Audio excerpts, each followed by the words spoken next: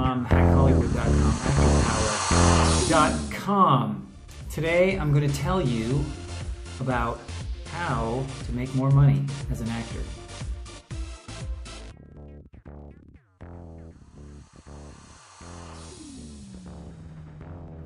Doesn't that sound good, making more money? Well, it's really quite simple and it works the same way in pretty much any industry, in any job environment, any setting whatsoever. The way to make more money as an actor is to specialize.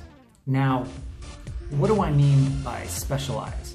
Well, that means figure out the thing that you do best, hopefully better than anyone else, and do that thing over and over and over because the better you get at it and the more they recognize you as being a specialist at that thing, the less replaceable you become and the more they will have to pay you because people will be fighting over you. And that's how you make more money is when you have competing offers for your services. And you say, well, I can't do it for what I did it before because someone else wants to pay me double. And then they say, well, we'll pay you triple.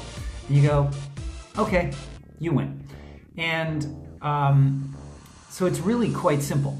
You know, if you look at uh, other fields, like I like to refer to medicine.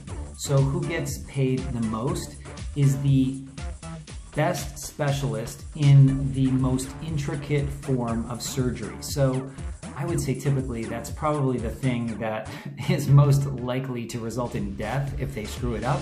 So we're probably talking neurosurgery, uh, cardiothoracic surgery, um, potentially, um,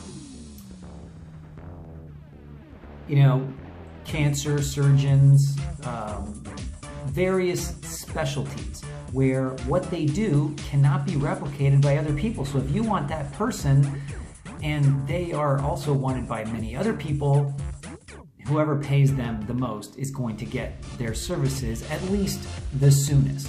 Okay, so that's what you need to do is figure out exactly what you are best at and go after that type of job and prove yourself as being really good at that because people will see your work and go, "Oh my gosh, they're so compelling at this thing."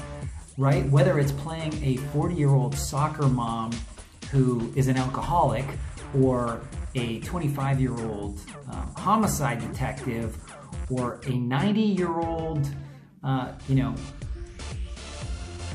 90 year old crotchety old man, whatever your niche, figure out what it is and focus on that and look for those parts because most actors are just trying to get any job and they end up not being very good at any job. Whereas if you specialize, you will become recognized and then your pay will become multiplied. Okay, guys, so that's pretty much it. Become a specialist. Don't be a generalist. Generalists may be able to always find work, but they rarely get paid very well for their work.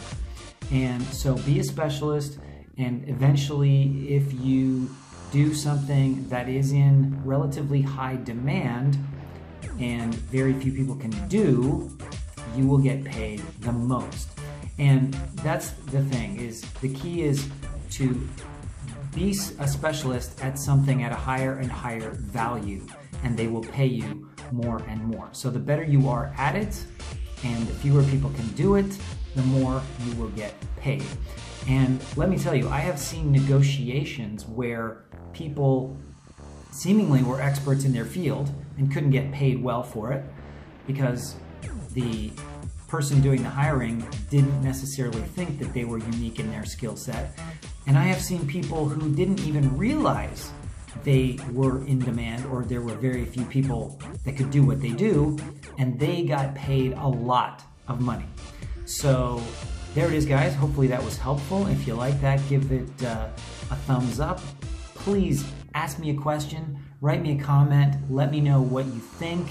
And if you'd like more of these, subscribe and click on the bell so you get notifications of other videos like this. We will talk to you soon.